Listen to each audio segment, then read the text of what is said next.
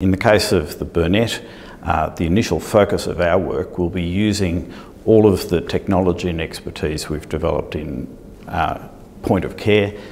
uh, diagnostic test development, and putting all available resources onto development of a point of care test for COVID-19.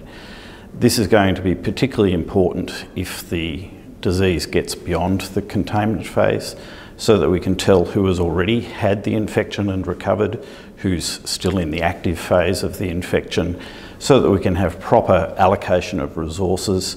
and things like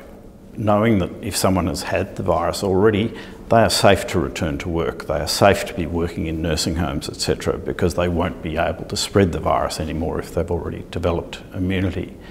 In this effort, we'll be collaborating not only with the Doherty, but also with uh, the National Serology Reference Lab at St V's, and very importantly, with Burnet's spin-off company in China, Nanjing Biopoint Diagnostics, because it's one thing for us to develop a test in our lab in Melbourne, which we hope to do in the next three to four months, but the ability to then quickly turn that into a fully manufactured test in tens of thousands, hundreds of thousands of units, that's why we made the investment over a number of years into Nanjing Biopoint so that we can do that without the delays of going and talking to potential partners, etc. We will do that at the same time. This is a global effort. But we know, and we're very pleased to have the comfort of knowing, that we can very quickly transfer that technology to manufacturing in China under GMP.